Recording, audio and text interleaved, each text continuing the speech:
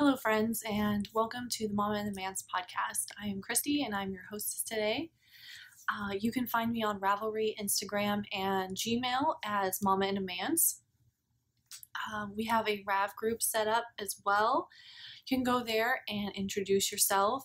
In the thread set up for that, we have a giveaway going on that we are very close to happening. Uh, for 50 subscribers, we're giving away this awesome United States themed bag with lots of monuments. It has this adorable little zipper pull, which also could be used as a progress keeper. I don't even, it doesn't seem like that's focusing very well. This is from Knits Best Thing on Etsy. And it also comes with a matching needle holder. And this is Dawn from Codependent Knitters. She's the owner and maker of that shop. I have several of her bags and she offered this as a giveaway. So we are using that for the 50 subscriber giveaway. And uh, all you need to do to enter that is make sure you're subscribed and then introduce yourself in the introduction thread on the Ravelry group. And I will be pulling randomly for that once we hit 50. You can also go in there and share your 2018 Yarny or fiber related um, goals and there that's where the show notes will be um, for each podcast. You can also ask any questions that you have of me uh, whether it's personal questions things that you would like to see on the podcast suggestions for topics anything like that. And all of that can be found in the mama in a manse ravelry group. And it's been a little while since i podcasted. I'm a little bit rusty and looking at my notes quite a bit I think that I'm going to try to pick a day that that's my podcast day. So what I'm thinking might work are Wednesdays during nap time. So in the future, not in two days, this is just Monday, but um, ne- starting next week, I'm going to try Monday. And if that doesn't work, or Wednesday, then I might try Sunday afternoons. But those sometimes fill up with meetings, and my husband does a service at the local nursing home. So there's lots of things to work out with that. So I'm hoping Wednesdays might work. And if I just have that planned day, then maybe I can get better at being consistent. I really meant to always have this coming out once a week, and we've just had so much going on that it just keeps getting pushed back. But I will talk more about that at the end during Life in the Manse. Or, yeah, Life in the Manse. And if you are not sure what life in the manse um, even means, a manse is a clergy's provided home in the Presbyterian Church. My husband is a pastor, and so we live in a manse. And um, we have five kids one who just turned 10, um, one that's almost going to be eight, and then we'll be out of our birthday season, thankfully. A six year old, a three year old, and an almost nine month old. So, anyways, Okay, so I'm just gonna jump right in um, to my finished objects. I made my um, show notes for myself a couple weeks ago and actually had to change tons of stuff because everything that I had in my WIPs ended up in my finished objects. So I will start with the most long-standing lip WIP that I've had that I've now finished, I guess, because there's others that are older that I decided not to finish. But my dad shawl is completely done now. I had cast this on while visiting my father for his last birthday four years ago. And I decided that, um, well, if you haven't seen other podcasts, I had started this pattern. He was very impressed with it. It is the Falling Leaves by Dory Brown. And for some reason, I picked this pattern, but I didn't have enough yarn for it. So I got this yarn to just put like a color co color block section into it. And I did all that. The last time I showed it, I was to the end of the color block. Um, and as a, I guess, celebration of his birthday this year, I decided I was going to finish it and so I did the whole other section in four days. Um, between like Friday and his birthday this year would have been on a Monday. So I finished that up in record time. Part of it was because the lace was actually kind of similar to some of the other lace. All three of the shawls that I'm going to show you today had something that was relatively similar to one of the other shawls. And I think that that helped me just go through it a lot faster, but I really cranked this one out and had it blocked and everything by my goal of finishing it for what would have been his 61st birthday. So that is off the needles and I'm very happy with it. This is quite squishy and lovely on my neck. I have no itching issues. It is Madeline Tosh. It's my first ever Madeline Tosh. But it has some speckles of orange, which was his favorite color, but also has the blue, black, and pink that I would be more likely to wear. And so that's why I picked that for the color blocking. The next thing that I finished was my sister shawl, which was a mystery knit along from Cozy Up with the and Sisters. It was not egg shaped. It did end up being a trapezoid. And interesting construction bit was that it started here in the middle and went all the way to one end, and then you came back to the middle and went all the way to the other end.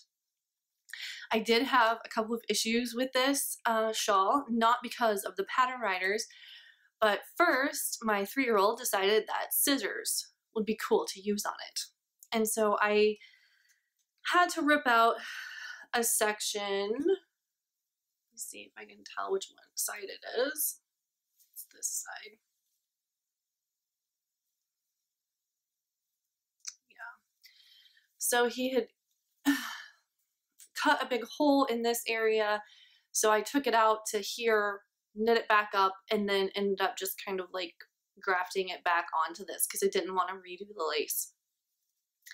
And then as I was blocking it, I noticed that there was a giant hole that hadn't been there before.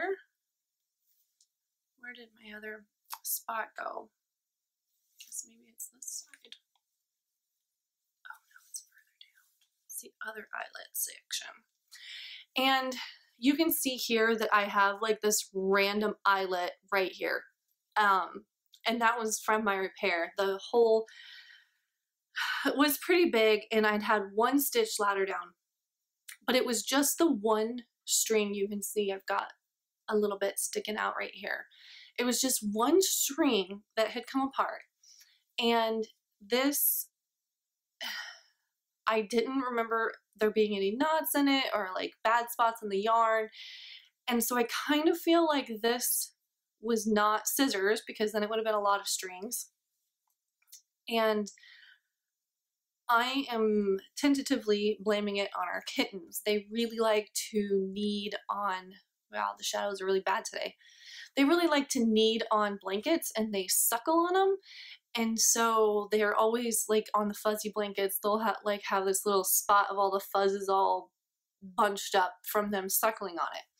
And i feel like they might have done that on my shawl and just happened to break one string. That's the only thing that i can really think of but besides that i really enjoyed this pattern let me see if i can get most of it in here there you go and i can wear this to wear like the gray mostly shows and the purple's mostly on my back. um, or I can, you know, use it where the purple's there. So I kind of, oh, I'm showing you the wrong side. So I can kind of like tailor this to whatever outfit I happen to be wearing. But I do enjoy this. I don't know, the I-cord edging the Jamie shawl that I did recently, and then this is the first time I've ever done this I-cord edging on a shawl. And I don't know if I'm pulling on it too tight because it doesn't seem like, I feel like there's more stretch that I could have got while blocking it, but the edge was taut. I mean, you can see that's tight, but this I could stretch more.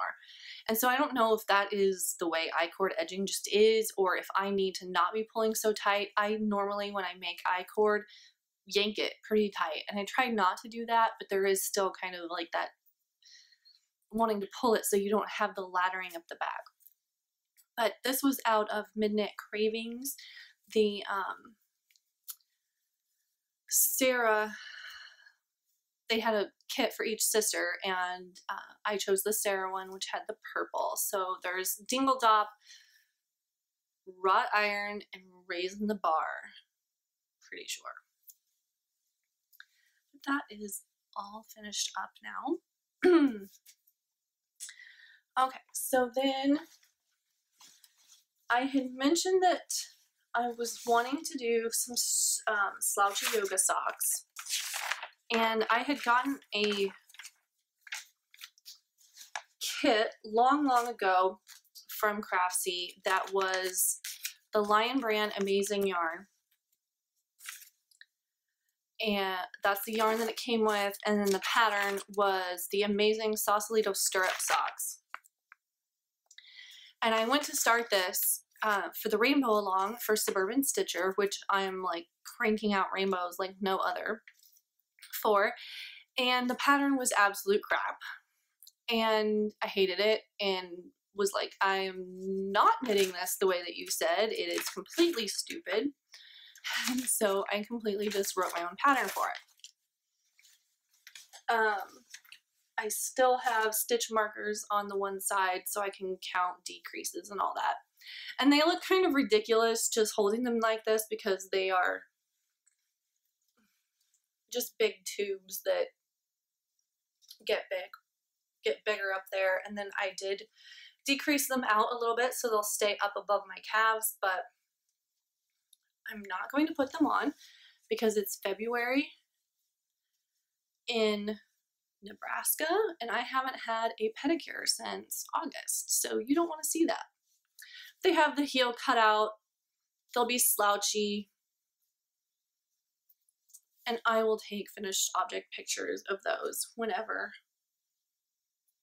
I get a chance. I did like this yarn for what it was for. I mean, it's kind of itchy a little bit, but I liked the fuzziness of it and just kind of the weird color changes. I mean, they're completely kind of random. The socks are not even similar. You can tell they go together, but like this one, this top one has a lot more pink, like has a lot of bright pink. And there's just this tiny bit of orange in this one, whereas there's a lot of orange in this one. They are the same colorway, same dye lot, everything like that. Um, I did want to make a couple more sizes of these, and so I'm going to work on that. but I couldn't find any more of this yarn. And it doesn't seem like they make the amazing yarn anymore the closest thing I found um, was the Lion Brand Landscapes that was kind of fuzzy. This is 53% um, wool and the rest acrylic. And the landscapes yarn that they have now, which is the only thing I could find that was even sort of similar to this from Lion Brand, is completely acrylic. I don't want that for yoga socks. I do want the warmth of the wool and less of the acrylic sweatiness. So I will show you in my yarn porn section what I got uh, to make some more of these instead. All right. Um, oh, I totally forgot to get my sock lockers. That was dumb of me. Oh well. so I'm participating in the Knitting Expat, uh, both the Wanderlust and the Cozy Sock Club yeah, Cozy Sock collections for this year. It's her 2018 sock clubs. And the February socks were from the Cozy collection. And these are the warm and cozy socks. I finished those. When it came out that um, that this would be good for a striping, I immediately got out my rainbow yarns to make them. Uh, I think you can see there's these stripes are made into ridges, but they are not, there's no ridging on the bottom. I did a Fish Lips Kiss heel for this. And it was kind of fun to see how these came out. They were not that one row where you make this ridge was not a quick knit. It was kind of a pain. Totally cute and worth it, but it's not something I wanted to do for like boot socks, which I did before. Though truthfully, I don't know because my stripes were a little bit wider than what Mina had for her yarn, they stick out a little bit more. I don't know if holding this sideways, you can kind of see how they go. Um, and you don't do them on the very edge, which is why there's kind of that blip there. uh, I don't know that wearing these in a pair of tight boots would be very comfortable, but wearing them in short shoes of some sort or a looser boot would be fine. Uh, I started out, this is the Turtle Pearl Ohm colorway that my husband got for me. And it is the glitter and stripes because everybody needs uh, glitter. That looks backwards on the thing, but podcasters say that all the time and then it's right. So it is 84 uh, superwash merino 16 sparkly nylon and it came with the mint, the green mini for it. When I first started out, I was I you know did this top cuff in the green, and then I had the orange and the red and the orange and the yellow and then the green again. So when the sock was just this, I felt like I was like knitting a hot dog because it was like you had your relish and your ketchup and your mustard, and then the orange was it all mixed, and I was like, this is gonna be so ugly. I do like this yarn, but I probably would not. Oh, I have this little blip of yellow because my skeins weren't perfectly lined up. And I think it's so cute that there's just that little, that little tiny bit of yellow. Oh well. Um, mm, I forgot what I was talking about. Okay, so this yarn reflects. It has the seven stripes, which Mina said an um, uneven number of stripes would be best because then when you get to that color again, it would be first flat and then in this uh, bump, in this ridge. But because this colorway reflects, see it goes to the red and then it goes to the purple and then it goes to the red, you know, it goes it starts over again, which is why there's this big blob of orange in both places. Had I realized that, I would have taken that orange out, but and then it does it again around the purple. Because it does that and it's reflected, that meant that all the all the red stripes, yellow stripes, blue and purple were all going to be in the ridges instead of it alternating so I probably wouldn't use this again had I realized that. But I mean, I love them, so, and I don't really care. I just think it would be fun if my purple showed more because purple is my favorite. And the same with this blue. This is close close to one of my favorite kinds of blue as well. And so I would have liked it to be more prominent like it is down here. But at the top, it ends up in the ridges. And so it's just the small bits and it seems like the orange is just everywhere. But I like these and I've been waiting to wear them until I could show them on the podcast. So I'm excited that I finally did. I did do the uh, 56 stitches on this. I need to remember that when I am doing a pair of socks, if it doesn't have purl stitches in it, that I should probably go up to the next size, which I think for me, Mina's patterns is just 60 when they have purl uh, purl stitches in them, my purls are loose enough that 56 is a good fit for it to stay conformed to my foot and not be like slouching off. But when it's all knit stitches, this did not pull it in or make it tighter or anything like that. It just scrunched down the, um, it took a, it took a stripe from like this to, you know, scrunching it down, making it stick out. It didn't constrict it sideways. Um, but because it's all knit stitches, it is kind of snug, which they stretch out over time. That's fine.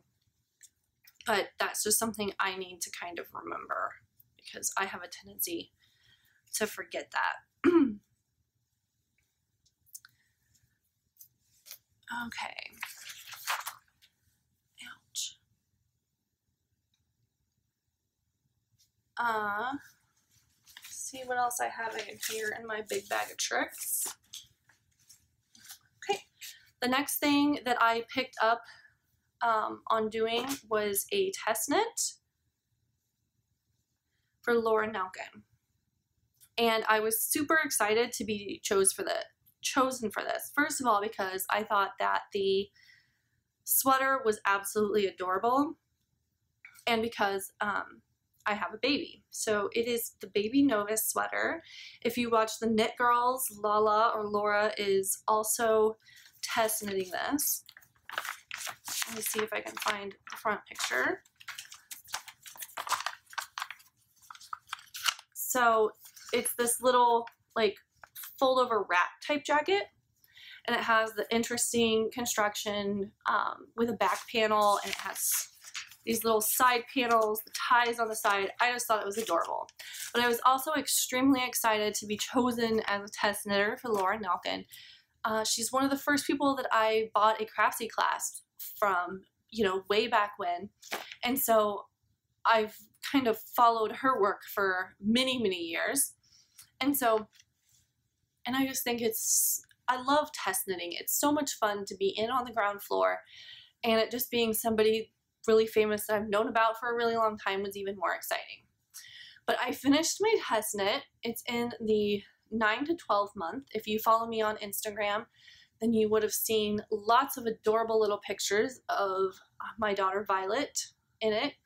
It is big on her right now, uh, but that is not a problem with the pattern.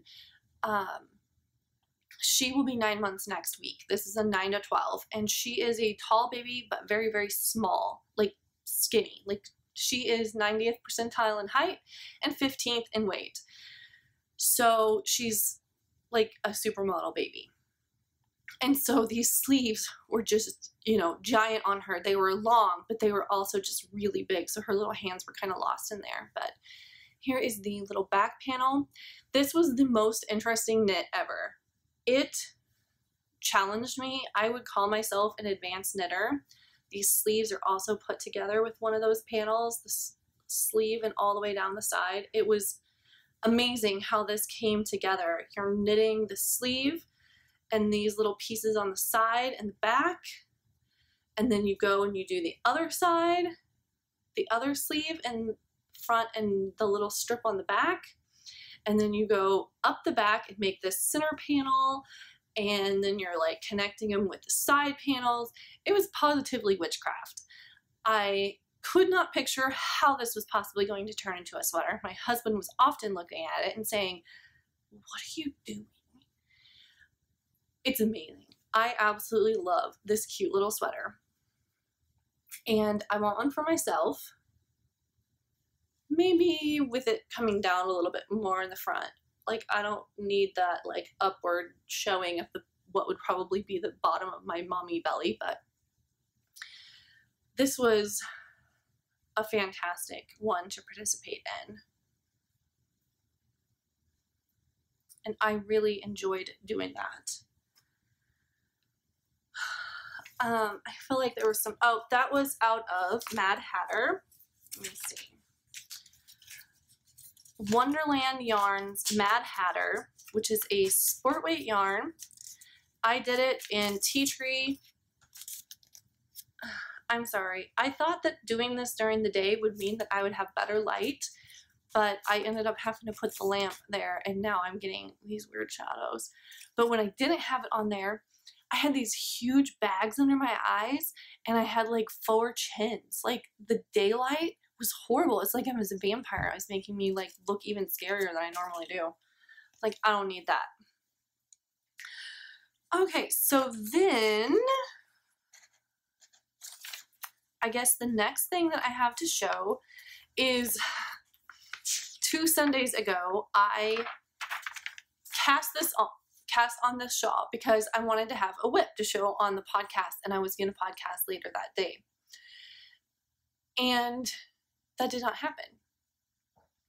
Uh, first of all, partially because I became obsessed with knitting this.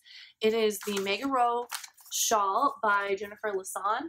Sorry, this is in black and white, so I don't know how well you can see it anyways, but you can see it in lots of Technicolor right here. This shawl is massive, um, but I it has short rows in it, and then these lace. And so I, after debating very much about which mini set to use and which neutral to use, I finally decided on the Midknit Cravings Bite Size Mini Set over the Rainbow, which includes, from top to bottom, Pink Mimosa, Bellini Fizz, Daffodil, Green Apple, Droplet, and Violet. And then I ended up using um, One Twisted Tree Chaotic Neutral. And that is from Prairie Girl Danny of the Prairie Girls Knit and Spin. And that's the gray. I got so into this, I kept wanting to just get a little bit further or get to the next color or finish the next short row section. I did make some modifications, some because I had to and some because I just wanted to. The pattern calls for wrap and turns. I am really, really bad at wrap and turns. I probably could see them better now because I'm a much more experienced knitter than when the first time I tried to do them. But I don't like them. And I don't like to have to watch. I, especially on something like this, very much get into watching TV or watching and making sure there's a baby not eating an M&M that, or a dime or something. And so I didn't want to have to look for it. On top of which, the chaotic neutral is a very tonal gray. And I felt like wraps would disappear into that, and you're supposed to, um, you don't have to pick them up but you need to count so many after them and I decided I couldn't handle that. So I did do German short rows instead. That worked out perfectly because even when I wasn't looking, I could feel the twins excuse me, the twin stitch on my needle when I would come to it. And so I didn't really have to pay attention. I would just feel it coming through and then know, okay, look at your work and then count. This was the first time that I did a pattern, I'm just going to cover this up, that had the little check boxes. And I really enjoyed that. In the very beginning, it did not help a lot because I would, you know, whip through a line and whip through another line without really thinking, okay, stop and make your check mark. And so then there were a couple times I had to go back and count and do math and see which line I was on because I had completely uh, spaced it off. But by the time, truthfully, I got to the first lace section, which was the pink, they were totally a lifesaver and I knew exactly where I was. And when it got to the very end, it did not seem like it was taking a long time or was very intense until I can't, the blue might have been feeling a little bit like it was taking a long time, but then this, this, this gray section and then the purple and then the next gray section, this gray section about killed me. That was the only time that I was like, oh my gosh, this shawl is taking forever. The rest of it whipped out like crazy. And I am absolutely in love with this. When I got it off the needles, I stood up on our couch and I'm five foot nine, so I am not a short person. I stood on our couch, put my arms up as far above my head as I could reach, and held one end of the shawl, and it was still touching the ground. It was so long, and that was before blocking. Blocking it was pretty hard to do. It took a long time because it was curved and it needed a lot of space and yada, yada, yada. So there was that. Uh, the other thing is that I ended up having to change the amount of rows that I did on some of the color sections. I did not check gauge. I did go down in needle size because that's what I normally need to do. And I was happy with the fabric that I was getting. So it could be partially that. I'm not sure, but I ended up, the skeins that I had in that mini set were, um, they were heavy 20 gram skeins. Most of them, I think the smallest one was 22, and I think one of them might have even been like almost 27 or something like that. They were significantly more than just 20. And this is what I had left of the different colors. So the pink and the orange I was good on, obviously. Um, then came, oh, the yellow, I had to cut two, don't drink my pot pineapple. Sorry, the kitty's trying to drink my drink. I had to take um, two repeats of the lace out. A, B, C. I'm trying to figure out where it was.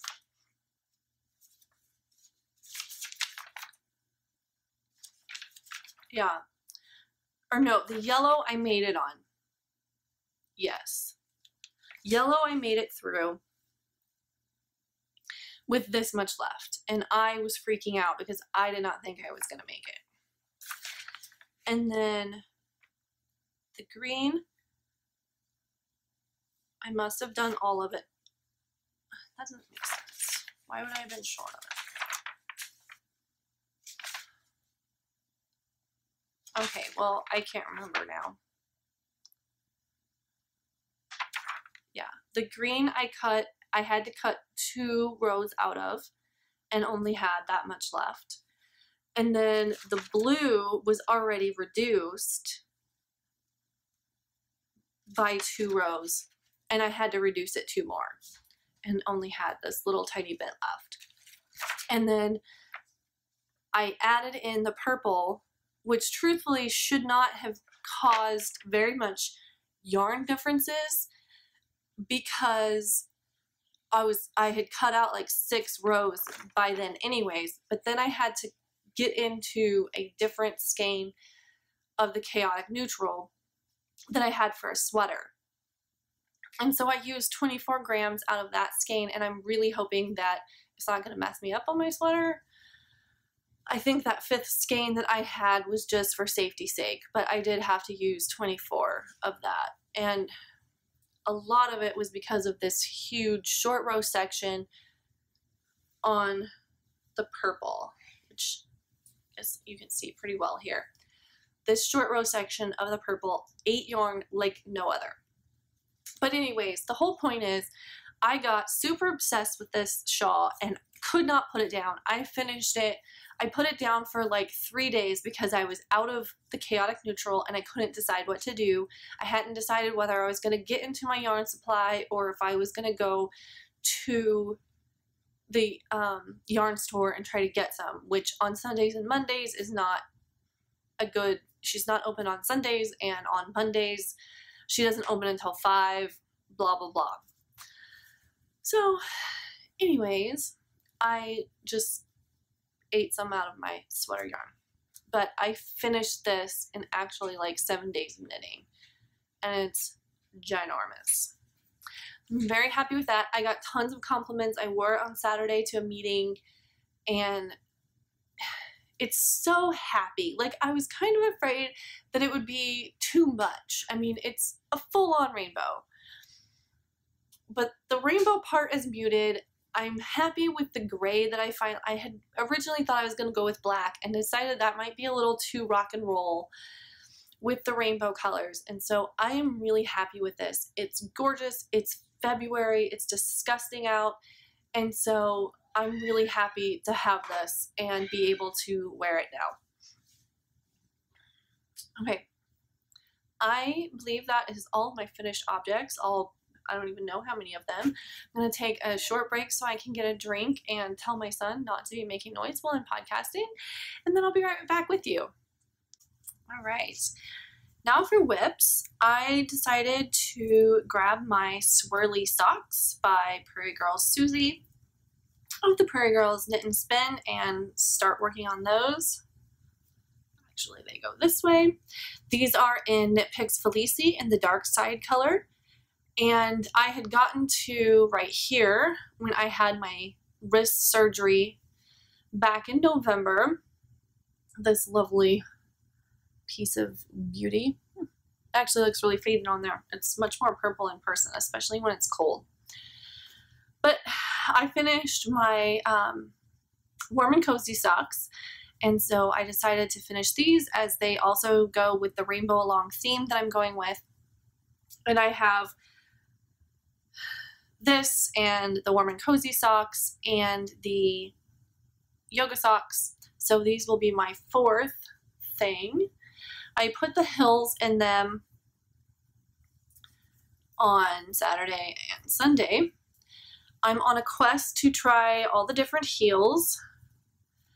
And so I tried the Eye of the Partridge on this. You know, I don't feel like I'm focusing very good today. I'm wondering if that's just me and my contacts are blurry or if it's really not focusing very well. But anyways, I obviously do not know how they fit or how much I will like them when I actually wear them. I do think that this little back section with the slip stitches and stuff is cute. I do kind of like that detail. I hated knitting this.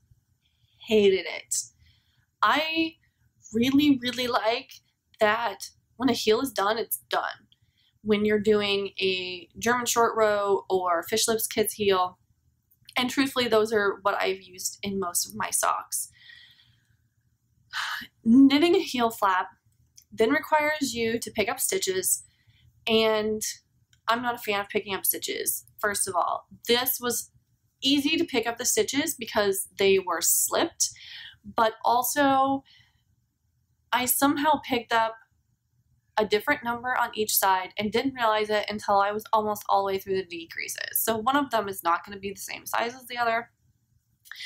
And then you have all this time that you are, um, this whole section right here is extra fabric that you're, you are decreasing out from knitting this heel flap. And I don't have any heel flap and gusset socks, so it may be that I really enjoy wearing them, but I do not like knitting them at all. like, they would have to be pretty amazing for me to want to do them again because it took forever. Granted, it was my first time doing it, so it is going to take longer than something that I've done and I can like just look at the pattern and then knit through it really fast. And when I get to new section, maybe just look at the pattern and then knit the rest of the time without having to look again. I didn't have to keep looking at the pattern on this, but all those extra stitches took forever. And because I'm doing them two at a time on a magic loop circular, I had a really hard time, like the cord doesn't want, the socks wanted to bow out instead of sliding back onto my needle. And so that was obnoxious. And the picked up stitches were such an awkward angle. I ended up sticking DPNs in the sides and then picking them back up with my um, with my circular when I would get to them. But anyways, I really love how the stitches swirl around.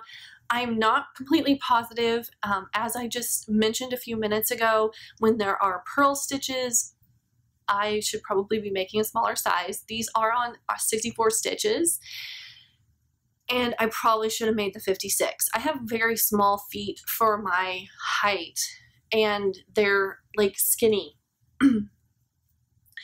and so I'm curious to how these are going to fit once they're finished but lots of people have bigger feet than me if they don't. But I am enjoying this yarn.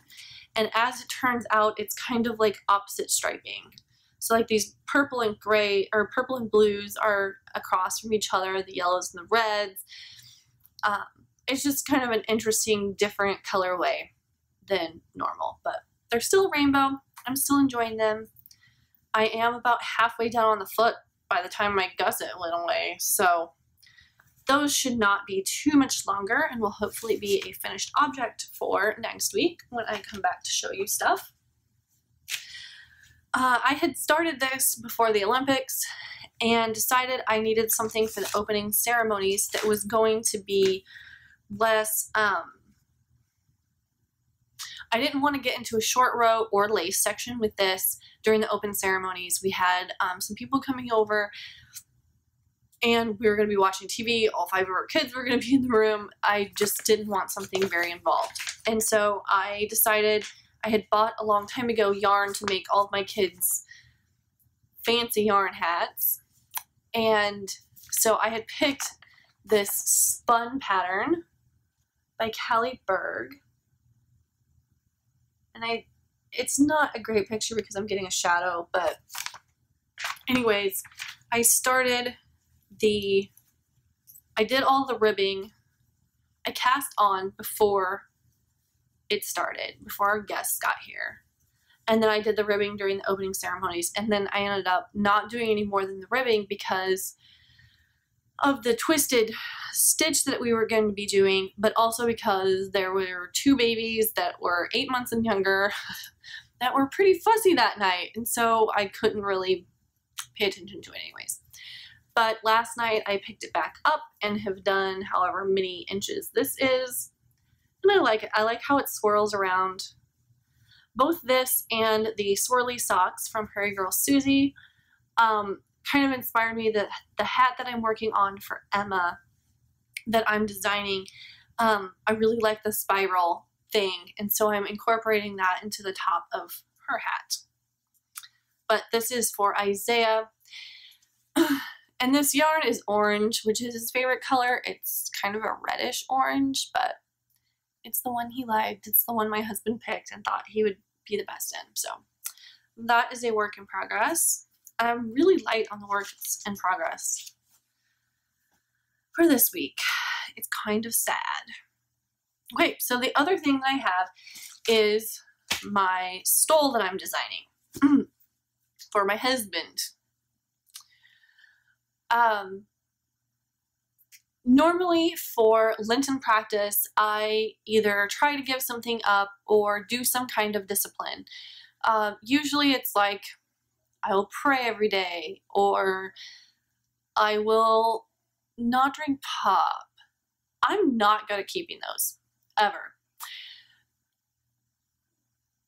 yeah. And so the Lenten practices are supposed to be I guess, reminiscent of the 40 days in the wilderness that Jesus endured.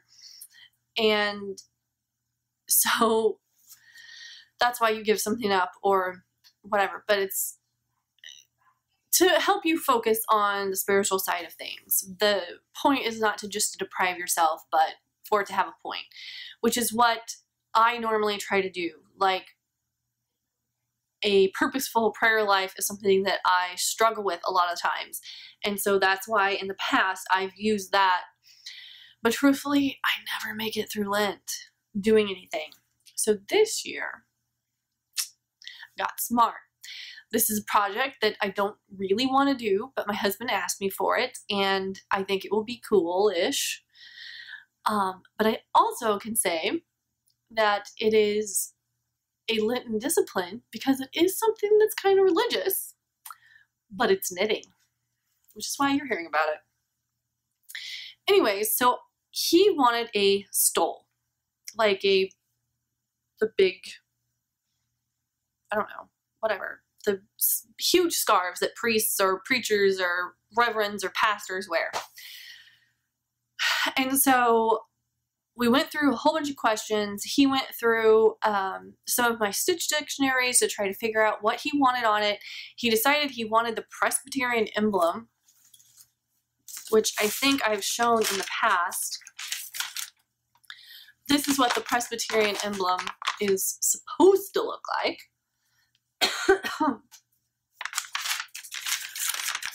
Um, so I got on this place called printablepaper.net and it'll print you out like knitting graph paper. If you can see that, knit stitches are not squares. They're not really as flat and wide as this makes them out to be, but it was closer than the square ones I was making. So I turned this into this. I also used, I can't remember the name of it now. Um,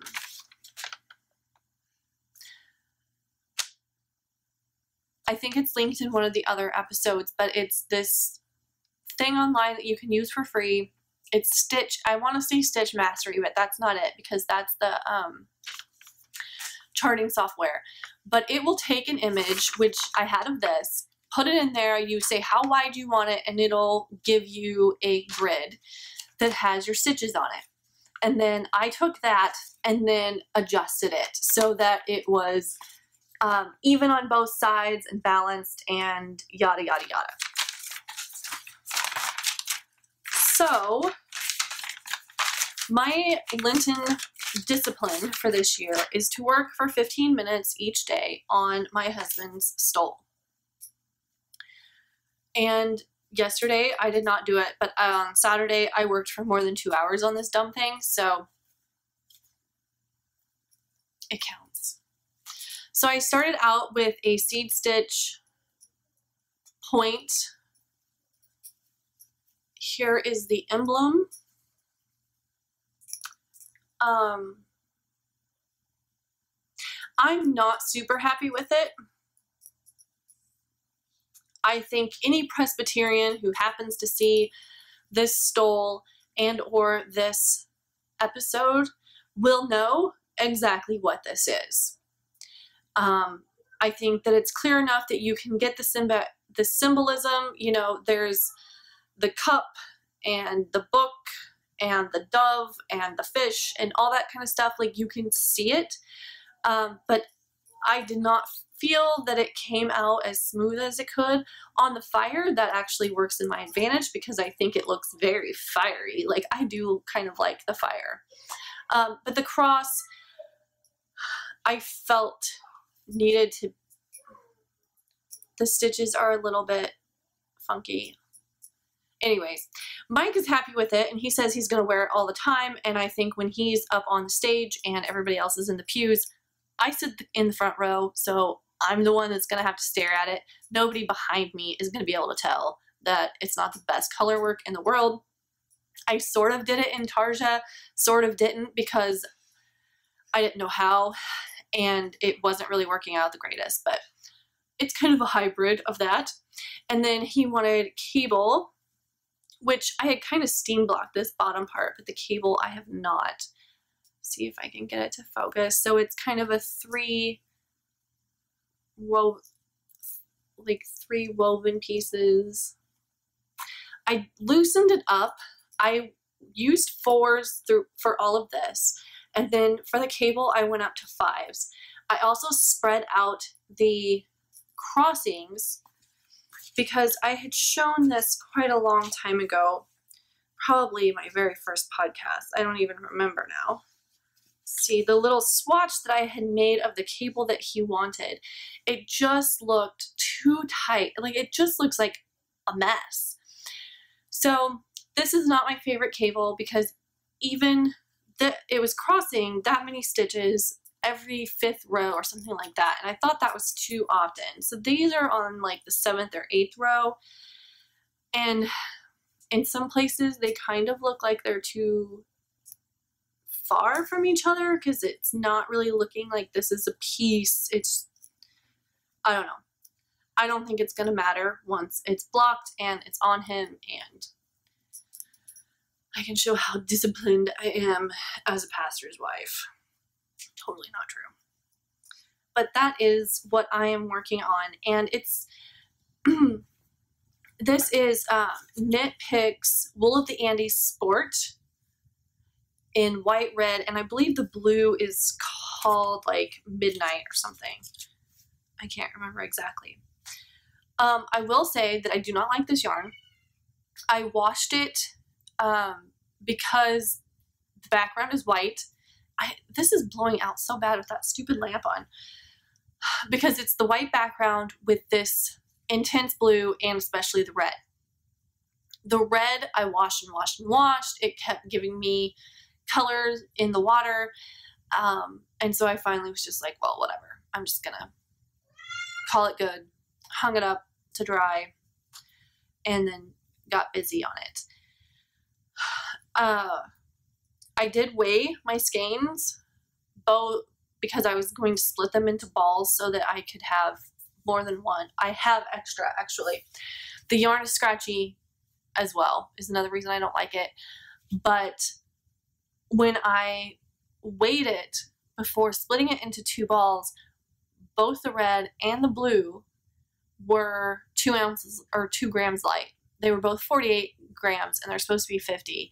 And that's probably the one of the first times I've ever gotten a skein of yarn from anywhere that was actually light.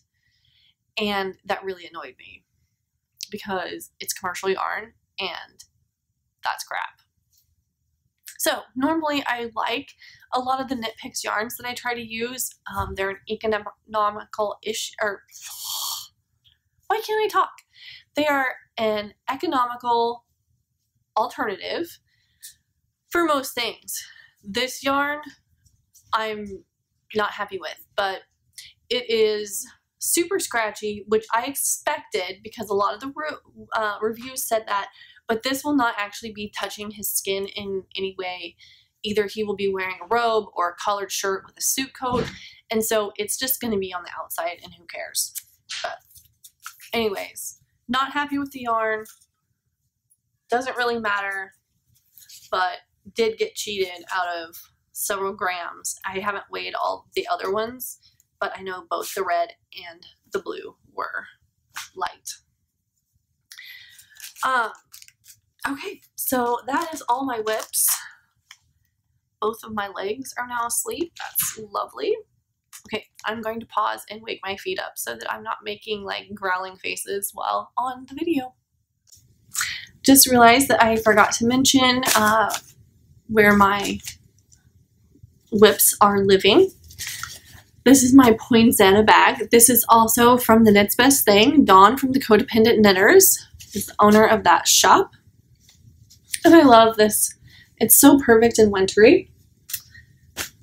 And then my swirly socks are living in my winter church bag. Sorry, I can't see. Uh, and this is from Beach Dreams Bags. She is SL Sliders on Instagram. And I was just going to mention that whenever, um, if you find something on a podcast, you go and buy a pattern or yarn or bags. And I'm not just saying this for my podcast, but really any podcast. If you go and buy something because you saw it on a podcast, mention that to whoever you are buying from. I think for people who have not been around for very long, it does kind of help to get the word out, but also it could possibly lead to opportunities for giveaways for you because then the work the people may be like this person is using a lot of my materials. They are advertising for me basically because they love it and have given it out or shown it to people and things like that. And it just it helps the whole community personally, I think. So that would be just a suggestion that I would have. Um, if you do ever decide to use something that I have raved about or anybody else for that matter. okay, and speaking of raving, in my Mrs. Brown's bags, I have my acquisitions. Mind you, it's been a while. And two of these were actually almost here the last time that I podcasted. And didn't show, like, they showed up the next day. Maybe even by the time it was up, actually uploaded. But, anyways, we are just going to go through this. This section is mostly yarn porn, but there are a couple of acquis acquisitions that are not yarn. So my row one um, like club mailer thing came and this month it is Mrs. Krabs Crosby Loves to Play train case is 55 superwash merino, 15 nylon, and 30 Outlast viscose and comes uh, 425 yards to 100 grams. The Outlast Viscose is a rayon fiber technology that continuously acts with the body's microclimate to moderate temperature from being too hot or too cold. and I had to read you that because whenever this came, I absolutely knew that this was not just like wool. You can tell by looking at it. So there are lots of adorable colors in this. And it's kind of got that shiny look from the, well, that one is just, thinks it's the ruler. It has that shiny look from the viscose where it almost looks kind of silky. But those are really cute. Um, and because there's 10 of them, then they're a little bit bigger skeins than they sometimes are. And the Dingle Dop that came for February was, of course, I can't see it. Love. Can you see it in there? So that was the row one um, yarn club that comes every month. And then my hedgehog sock club came. So I do have a question. If ever anybody has ever gotten the hedgehog sock clubs and single clubs, I'm wondering if the sock clubs and the single club are two different colorways or if it's just that you get the same colorway but it's on a different base. Anybody knows that, if you could let me know in the comments below, I would really appreciate that. Or on the show notes for this week's episode on Ravelry. So the first one is this it's called Angel Dust. It is pink and blue and purple, and it has some orange speckles. It is crazy. It has like all the colors. I'm really getting annoyed that there's that shadow on that side of the uh, phone there. But that is the first color. And then the second color, I don't like yellow. Um, it is never a color that you will ever see me at a yarn store pick up. Yellow is only in here because it's a complete rainbow. When I considered making it only five, the yellow was the one that was going bye-bye. Um, and so this other color is called Gold Mine. And it is definitely not my thing. It is not awful.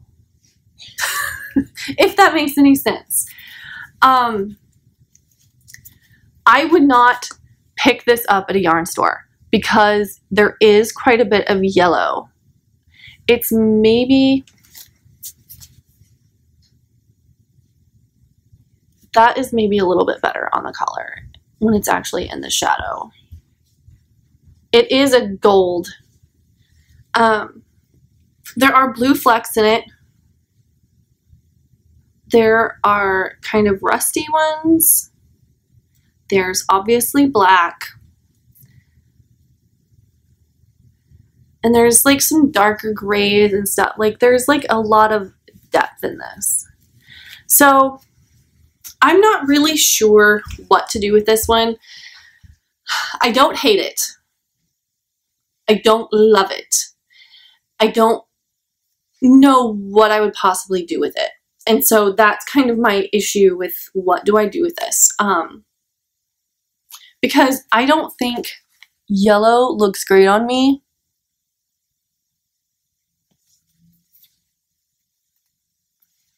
Uh, but it's a little bit different. If I do something with it, it'll be like, I'll be pretty proud of myself for taking that challenge and doing something that is not a color I would normally pick. But I'm still happy with my sock club. So let me pause because it sounds like people just got home from school. Okay, let's continue on. The next thing that arrived was my first Suburban Stitcher yarn. I was watching the podcast one day and she was talking about her Get Suburban um, knit along, and my husband asked if I had any yarn from her. I said no, and then I got a delivery. So I got these three colors. They are 2 a.m. Kisses,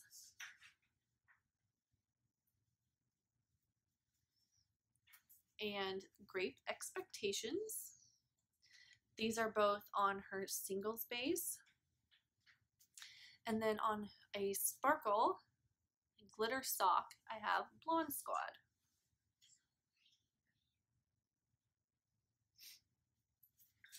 And I am really excited to figure out what to do. I feel like these two need to go together in something that requires two. Um, it does have the 2 a.m. Kisses has flecks of stuff that looks like it matches this Grape Expectation, so I feel like they would be gorgeous together, but I don't know what yet. And then the Blonde Squad, I'm not sure if it will be socks or go into a different kind of project, but it has all of my favorite colors in it. And I love the story behind this about her Blonde Squad. Um, my cats have been obsessed with this yarn. When it was sitting on my couch, anytime that they could get anywhere near it, they were constantly trying to get into the bag of it. And it smells really delicious. I can only smell it when I put it right up to my nose like I'm sniffing flowers. Um, I can't smell it like even when it's down here. So it's not overwhelmingly smelly, but it does smell delicious when it's up here. And so I don't know if the cats are just more sensitive and could smell that, but they really, really wanted this yarn. So that's my first Suburban Stitcher, and I'm looking forward to see what it grows up to be. Uh, then I went to my local yarn shop, which is Imagine It in Omaha, and I was looking for some sort of yarn that would be like that um, Lion Brand Amazing. I wanted something like I didn't care if it had some acrylic in it, but I wanted something that was that had wool. I didn't want all acrylic, and I really liked the fuzziness of it. Um, she did have one skein of this Classic Shades Metallic from Universal, right? Yeah, from Universal Yarns. And it is sparkly. And it is kind of similar. This is 69% acrylic, 29% wool, 2% glitter. You can see the glitter in there. Um, and so I am going to make another pair of these, but the other colors that she had in this were not like ones that I was like, yeah, like that. So I did not get any more, but this might be an alternative that I will use um, and maybe order some if I decide that I want to make a bunch of samples or as gifts for people. but there was that. And then I got some non-fuzzy yarn. This is, I don't know if it's JoJo Land or Ho Ho Land because Hohi makes me think it would be Ho Ho Land, but I think it might be JoJo Land. Anyway, it's rhythm, it's super wash, it's 100% wool, and it has kind of a gradient. So you can see that you know, like this part of the yarn is going to be different than this part. It has blues and purples in it. I got this color, which is called Aquarius. And I got two balls of that because it's 50. That, um, this is 100. So that's enough for a pair of the yoga socks. And then I also got this pink and purple one that will also be a gradient. And I kind of felt like even though it wasn't the like rainbow stripy like the amazing yarn was that this gradient would um, be attractive in kind of that slouchy yoga sock. So I'm going to be making some of these for my friend and yoga instructor and she's going to let me measure her feet like a total creep um, so that I can make different sizes because we have different size of calves and feet. So she's helping me out so I'm going to make her some of those. And then right after that, I was tagged in a post for a giveaway. And, you know, I went and did it and then realized that the lady's like location said she was from Lincoln, which is 45 minutes from here. And I was extremely excited. The only other local dyer that I know of is Prairie Girl Danny, and she's in Omaha. And so I was thrilled to see that there was one in Lincoln. She's the first one that I know of down there. And so I checked her out, uh, started getting her newsletter, and got some yarn from her. So she is Lofty Loops Yarn, and she does have a few skeins left on Etsy, but is moving into her own uh, website. So that is loftyloopsyarn.com. I'm not sure how well this is able to be seen, but um, there's a few things on the Etsy site, but all of her updates are going on to loftyloopsyarn.com, which is her personal website. Uh, so I got two from her, also in single, and I have Plumtastic and Mermaid Lagoon. And these are another two that seem to go together and are just absolutely gorgeous. And I love them. This has all these purplies and blues, and this is just all the different kinds of purple. I love them. I love them together. I think they go well because of those speckles. So I'm excited to figure out what to use these for as well since I got this yarn, and it got to me super quick, um, the tracking didn't even keep up with it. I think I ordered on a Sunday and it was here on Tuesday, which of course it's very close, but it also went to Omaha and then came to me. So I was kind of shocked that it showed up that quick. Since I ordered these and talked to her a bit, um, she has started a podcast so that is something to look for. She has two episodes up and she talks about her yarn and what she's working on.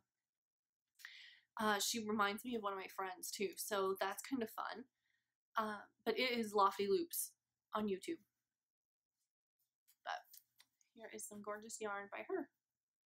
And I was super, super excited to find her. Very, very excited. That is all of my Yarny acquisitions. So the yarn porn section has ended, but I also got a couple of other things. I found the Barbara Walker first treasury of knitting patterns on Amazon for a decent price one day. So I went ahead and got that. it is quite a bit different than the stitch dictionaries you get now, I feel like. I haven't looked at it a ton because I've been busy, as you notice from my finished objects pile and also when I get to Life in the Manse. But it's a lot more, there's a lot more words in this um, than there are in the newer ones. There's not charts um, in this, but the Barbara Walker treasuries are something that a lot of people suggest you have and I just wanted to check it out. It was a good price, and I feel like you can always use new stuff. And I also feel like if everybody is using the same stitch dictionary, there's only so many things you can do with one stitch. So I kind of like having something that's kind of older and not just the brand new stuff that's come out. So I have that now, and I'm happy. And then I also got on um, Fire Mountain is it Fire Mountain Beads or Gems. I can't remember. I think it's firemountainbeads.com, but it might be Fire Mountain or Fire Mountain Gems. I can't remember. But I got these um, 6-aught seed beads. They are clear with silver. um, inside, these are for my Dancing with Cranes. Um, I believe it's called a stole scarf shawl thing. Uh, Munchkin Mama on Ravelry has notes on adding beads to that, and so that's my plan with the Neon Unicorn dye studio that I am planning on using for that. I thought the yarn was right behind me, but I don't know where it is. Oh, it's up there on the piano where it doesn't belong. But anyway, so those came, and I probably will not do that shawl for the Rainbow Along uh, for the Suburban Stitcher Rainbow Along because it only lasts until the 28th of February. And it's a shawl, it's beaded, it's lace. And so I don't know that I would really finish it. So I'm I have the beads for it, but it's not like my highest priority right now. Uh, I am stocking a few patterns right now. I stocking is maybe not the right word for it because I actually have all of them. But Prairie Girl Susie just came out with her internet internet cowl. and it has an interesting construction and has an opening that is buttoned so that you can have it down lower and it kind of goes over your shoulders or you can button it up and it makes it taller so you can really use it for a lot of warmth. And I am trying to decide what I want to make that out of. I also joined the Knit with Stars um, sock club. That's from Laura Beth Knits on Instagram. And basically she's coming out with a sock pattern for each zodiac sign. So Pisces just came out. Um, and it's not like it, the sock is a picture of the constellation. But it is you know pisces is kind of a watery type thing and so the um, sock kind of has a watery type theme like it looks kind of like lacy waves so I thought that that would be fun and interesting. Uh, I believe that's on sale for $15 for the whole collection, so it's barely um, above a dollar a pattern. I apologize, I'm starting to lose my voice. And so I decided to jump in on that and we'll be doing that. So hopefully those socks might get on the needles as soon as my um, swirly socks get finished up here quick, hopefully. Um, and then I'm looking at doing a resistance hat. It is um, sort of along the same lines that the Knitmore Girls uh, did, uh, Jasmine from the Knitmore Girls. I have the yarn for it. I have the pattern. There are a couple of the sayings that I want to change. Um, or maybe update compared to when it came out. There's some of the things that I think I want to change. So that's something I'm looking at and kind of thinking about. you know, the science the science stripe has a DNA panel um, that from my understanding was kind of hard to follow on the color work just because it's kind of a random helix shape because it's DNA, but it's not like a word where you know there should be something there, so you're looking at your chart more. Uh, I felt like something like science is real or even like practice stewardship or something. The Presbyterian Book of Confessions says that as Christians, we should practice stewardship of the earth and its resources. And so I was thinking also of doing something with stewardship um, because that ties into my life. And then actually, a few people from Canada changed um, there's a little saying in one of the stripes from the Statue of Liberty that's um, give me your poor, your weary, or something like that. And they actually put diversity as our strength because they're Canadian and that's kind of more Canadian and less uh, United States themed. And I um, kind of like the idea of diversity being a strength. I do think that that is true. And might actually go with something like that instead of the um, Statue of Liberty saying, but we'll see. So those are kind of the things that I have coming up that I'm looking at. And then I have a lovely little section.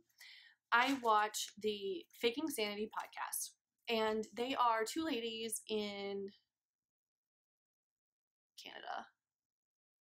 I want to say Sarnia, but I feel like that's not right. That's where codependent knitters are from.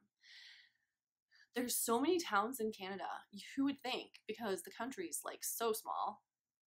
Um, but I forget where everybody's from. The Cozy Up Stitches are Grande Prairie, but there's all these different places. Anyway, maybe it's Dawson's Creek. Dawson Creek, because Dawson's Creek is the show.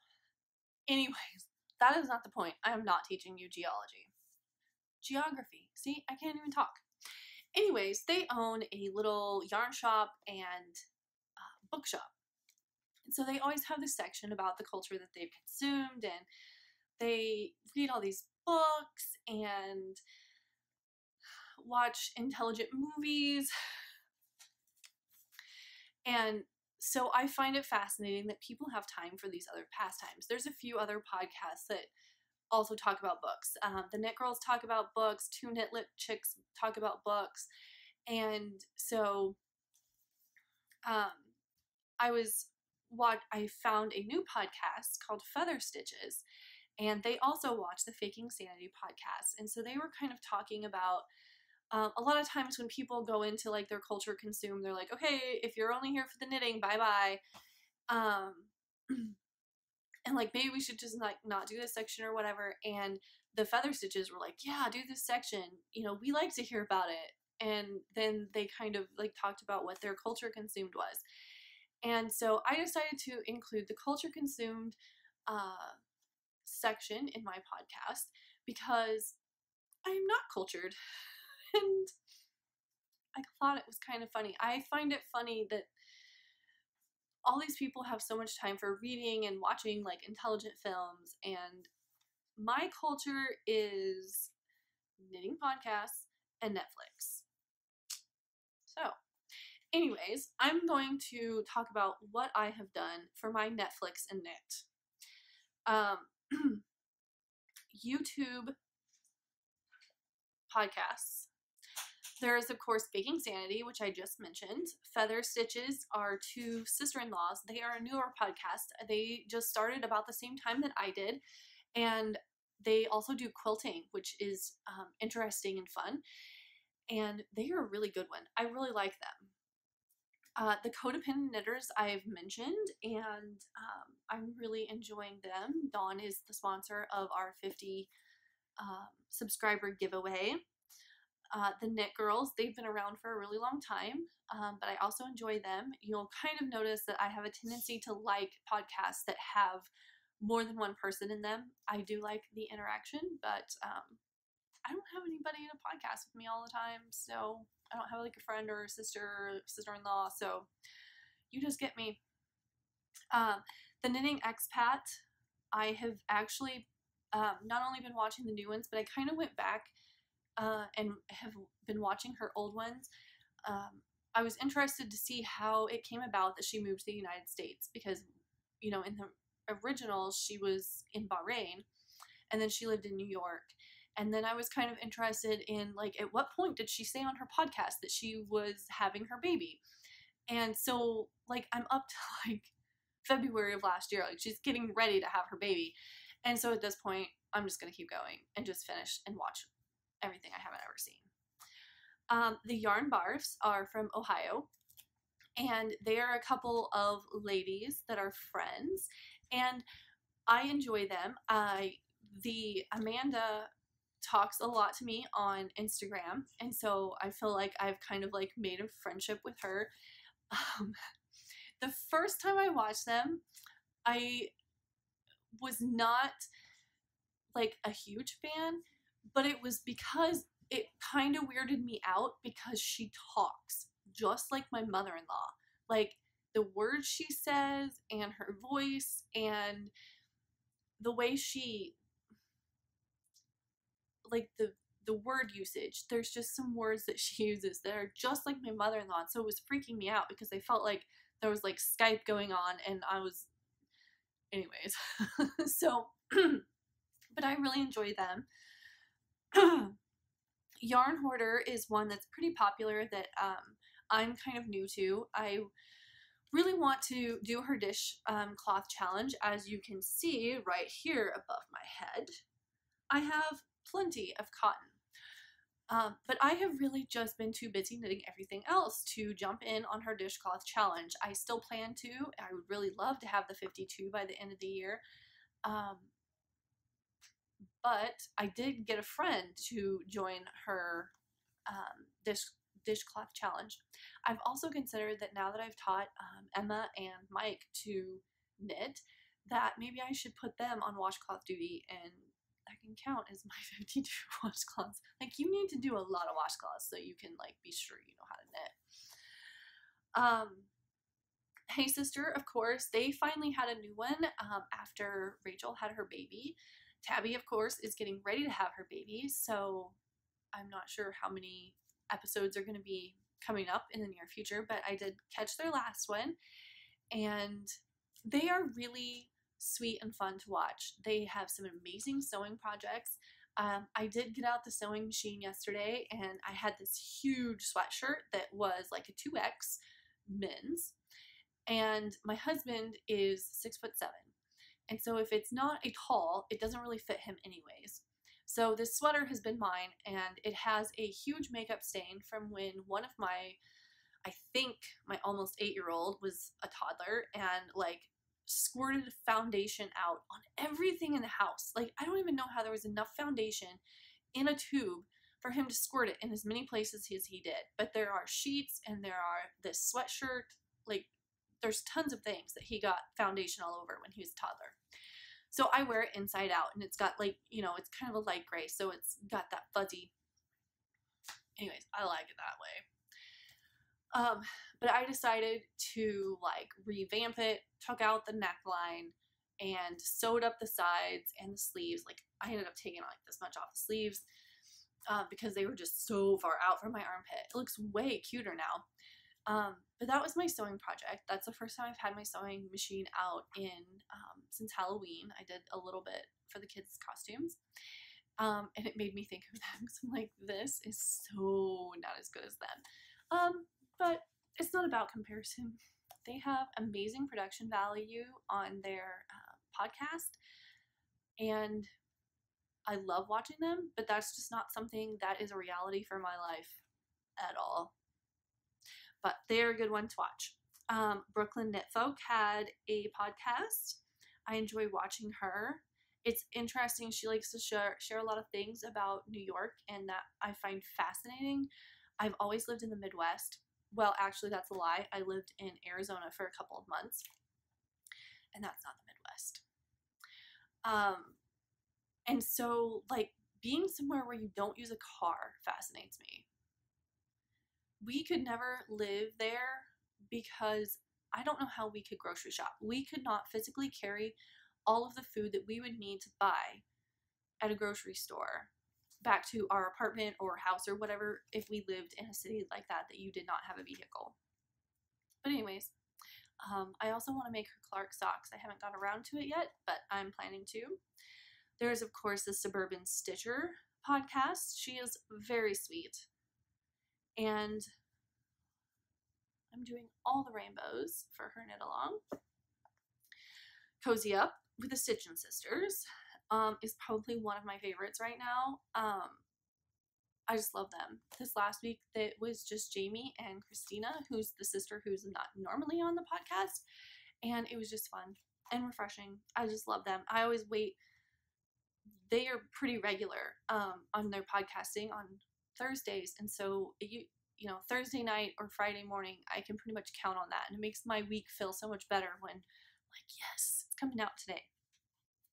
I mentioned that Lofty Loops has now uh, come out with a podcast since I bought yarn from her.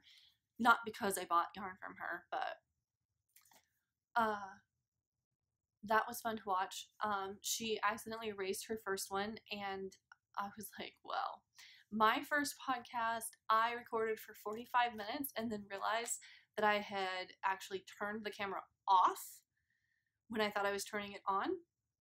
So I had like me getting ready and then nothing. And I had gone through almost the entire podcast before I realized that the numbers weren't moving at the top, which is something I now watch for. Um, but I think it's fun to see people from the beginning and to yeah, it's just fun. Um, I've also watched Bakery Bears and Honeybee in the last little bit. Both of those are pretty popular, so you probably already know about them. And the other new thing that has come out recently is Joji has a journal. Um, and I find that fascinating. It's kind of fun to listen to her um, because her patterns are in English. I don't really think of the fact that she's not a native English speaking person. And so she has an accent and it's very beautiful to listen to.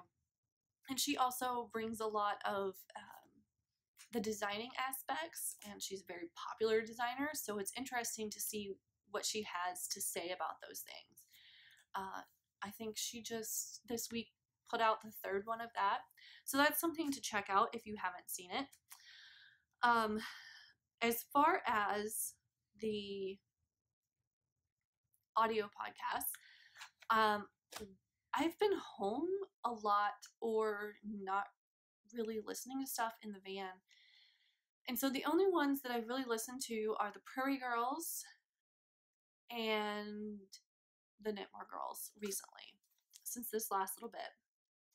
And then for my net actual Netflix that we finally got to, we recently finished The Office. Very highbrow over here. Um, we did finally finish Stranger Things. That was one that we would only watch during nap time. I don't like scary stuff, and it was not one that I wanted to watch right before bed. Plus, you kind of want to keep going and see what happens, and that just keeps you up all night. Um, we also went through all of Psych after we finished The Office. Uh, that's one of our favorite shows, and I'm very, very sad that they don't do it anymore. And then the only other thing that I've watched is Downton Abbey. I've never watched it before, and so I'm through to when the eldest sister marries the heir. That was the last episode I saw, but I haven't been able to watch it in like a week or two now. Um, just, I don't know why. Other culture that I've consumed includes um, things that mostly I did not consume by choice. There's PJ Mask. There is Bo on the Go. Miraculous Ladybug.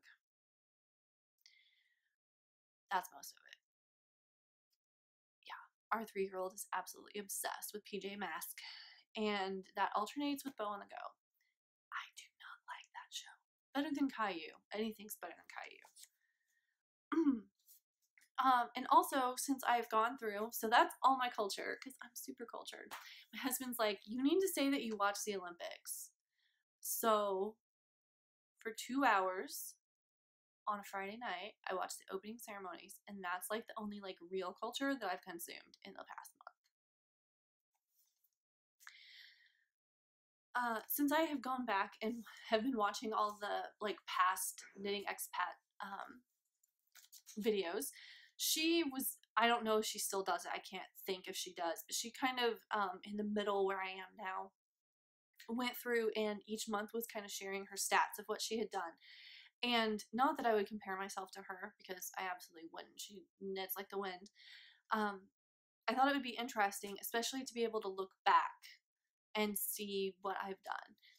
Uh, but for January, I completed two shawls. They were my dad shawl and my sister shawl and the boot socks, which were the Restfibber from the Wanderlust collection from Knitting Expat, but I made them like their boot socks. And at the end of the month, I had five active WIPs. I forgot to mention that I have worked on my long line cardigan that I've showed previously, but I've just like gotten down to the armpit on the front and the back. And so it barely looks any different, so I didn't show that. Um, I did, however, purge 144 skeins of yarn that I knew I was not going to use anytime soon or ever, and decided to purge 39 WIPs. The ones that people mentioned that I should finish or that people commented on, I did not purge. My mom, I asked my Um, I did ask my mom if she wanted the stocking that I had made but not finished, and she said yes. And so I kept that. Um, and there's a few other things that I'm going to look into finishing um, or doing other things with. So, but there were 39 that went bye bye, and that did include 156 little tiny crocheted squares that I don't ever want to touch. That is all of my knitting content. I was going to share a little bit about what's going on in life in the manse. Um, right after I podcast the last time, my husband was moderating a congregational meeting for another church, and a lady was giving a report from a pulpit that was, you know, like it's up on stairs, and then like there's stairs below it, and then it's even higher up. So she's like really high up in the air, and she starts acting weird, and like people start yelling at him, and so he runs across the stage and catches her as she passes out during this meeting and falls out of the pulpit. So he's been going around saying that he saved someone's life. Um, Violet popped a ton of teeth all at once. Uh, she got the two top ones in the middle, and then she got the two side ones in the middle, like just a few days later. She still doesn't have the ones on the bottom, which is strange because it usually alternates, uh, with bottom being first for each set. Um, that caused us some feeding problems. When I made these notes, it was causing feeding problems. Um, we are no longer breastfeeding due to some like chainsaw massacre breastfeeding sessions. So she was not biting me, but it was rubbing skin off. And I tried changing her latch and her position and everything, and it was not working. And so we're done. Um, we have been practicing Sabbath this year. So on Friday nights um, is when we decided to try to do that. And so a couple weeks ago we did it, and I decided that the kids are old enough to finally learn how to play Monopoly, which was one of my favorite kids games as a kid. And then the kids became obsessed with it. it takes forever because it takes them a while to count money and stuff like that. But that was a ton of fun. Um, that's been going okay. At first, the first time it was great. We were totally plan- had it all planned out. We were ready for it. You know, supper was for sure figured out in the crock pot and really just um, we had an action plan for what we were going to do during the time that we were not touching electronics of any type or watching TV or anything like that. Um, and then there's been a few of them that have not gone very smoothly because we weren't prepared ahead of time. Um, it does take preparation to stop. That's what it seems like. So, um, and then the kids didn't have school on Friday, and we completely forgot that it was Friday and totally missed Sabbath. Um, and then, of course, the week before that, as our Sabbath activity, we were watching the Olympics um, opening ceremonies. Um, so that's kind of an ongoing practice. Emma, a couple weeks ago, was um, in her first honor choir. And so we traveled to go see her be in that. And then the next week after that was her 10th birthday. Um, she got her own room. We had a spare bedroom um, that was basically collecting everything, still had boxes in it from when we moved in two and a half years ago. So we cleaned that entire room out and set it up for her. She now has Harry Potter stickers all over the wall has her own room, her own closet. First time in her life, well, not in her life, but since her brother was born two years after she was, so first time she's had her only own own own room since then. Uh, she's pretty excited about that, and so far she's keeping it clean. So we'll see how that goes. Um, our church did a bunch of well, they hired someone to do a bunch of painting on the inside, and that included the food pantry that we run. Um, so the whole pantry was like cleaned out and then it took longer than it was supposed to and we've had a lot of snow and ice and cold and so the pantry's been closed several times and it's just been kind of crazy with that we finally um, got it put back together and got everything moved and it's much more organized and everything is up front where everybody can find it and you don't have to be running back and forth to stock and so that's actually going better now. We have we spent Saturday at Presbytery, which is our regional um, governing board of the Presbyterian Church. So it's basically from central Nebraska to the Missouri River, minus a scoop around Omaha. Omaha is in their own. Um, from the South Dakota border to the Kansas border. And so we went to Lincoln for that. And um, Presbyterian meetings aren't super fun, but it is adult time, and I do, you know, you know, I've built relationships with some people since we've moved here, and so you know, that's the only time we really see them is at Presbyterian meetings, so that's nice. Um, and then my husband and I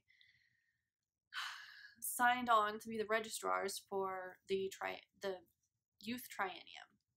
So every three years, the Presbyterian Church has this huge youth convention at Purdue University in Indiana, and um, I'm the registrar for that for the one that will be happening in July of 19.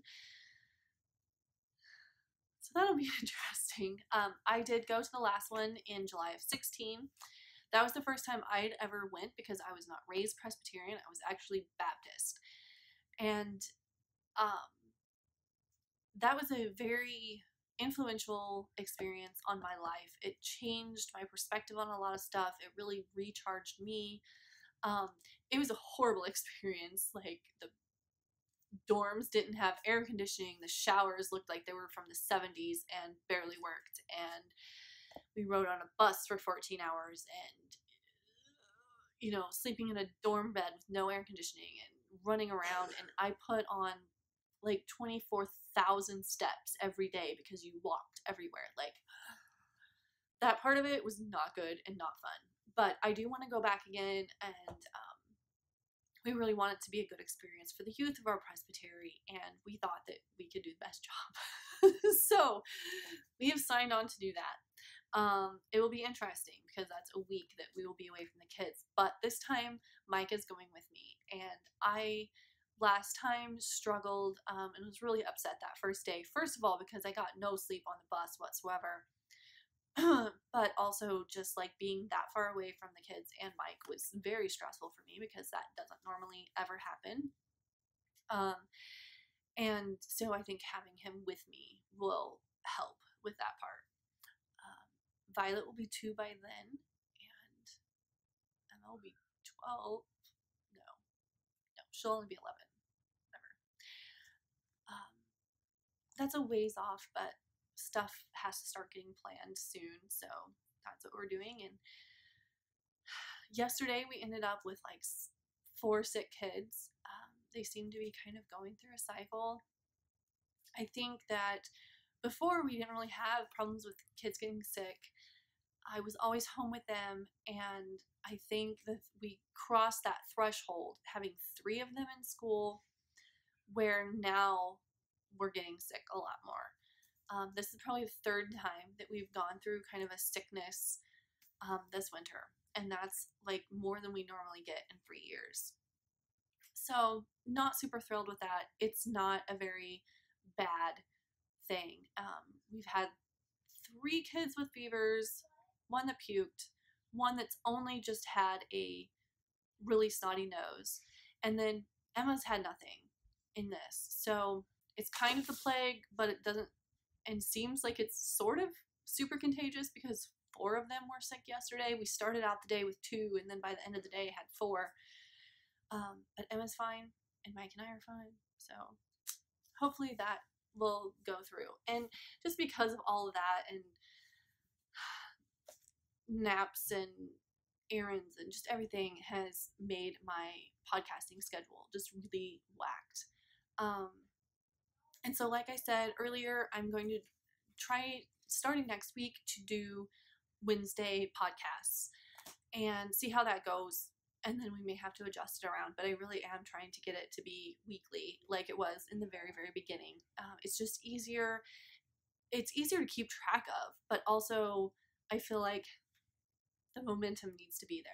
So we'll see how that goes. Um, mostly, other than that, I'm just working on lots of knitting you know, this completely overtook me when I was working on it. Um, but purging my house and working on our family routine to make sure that the housework is under control. It's pretty much what I've been doing.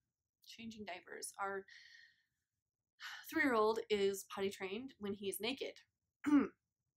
but you put anything on that kid and he's no longer potty trained. Um, diaper, underwear, training pants, anything at all, he'll go to the bathroom in it.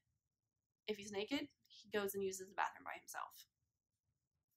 So we may be moving to a nudist colony. So perhaps it will be Mama in the nudist colony. Um, but really, nobody wants to see that. His little butt is super cute, but nobody wants to see the rest of us, mostly the adults. But hopefully, that will start getting better soon. I hope. I don't really know what to do at this point since he doesn't seem to get at all that you don't do it in your pants, but has complete control over it all the rest of the time. But at least he has stopped peeing in other things, peeing and pooping in his dump trucks and bottles and vacuum cleaner like crevice tools and all that fun stuff. My life is fascinating. Anyways, I think that's about it for now, and I'm gonna let you go so I can get this put together and see you on the flip side. So enjoy your yarn this week. Um, check out some of those podcasts that I mentioned. All of them are very good and worth the time that you would spend with them. Um, and I will see you next week. Bye.